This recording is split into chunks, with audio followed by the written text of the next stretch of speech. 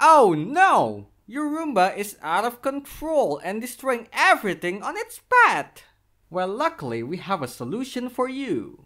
Introducing the Grape Stabilizer for Roomba app.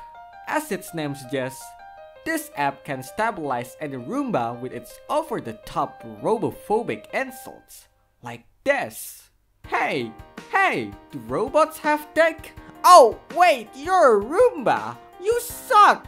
Then what's the point of having a deck? And you can also adjust the harshness of the insult with this handy knob.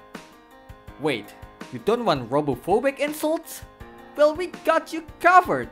We also have the toilet paper stabilizer app.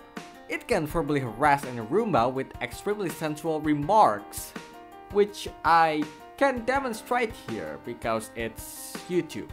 But of course I can show you one of the remark here.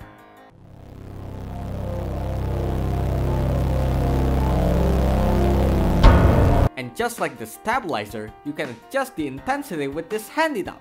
So what are you waiting for? Fix your Roomba today by using either the Grape Stabilizer app or the Toilet Paper Stabilizer app. The Grape Stabilizer app and the Toilet Paper Stabilizer app are only compatible with Android devices.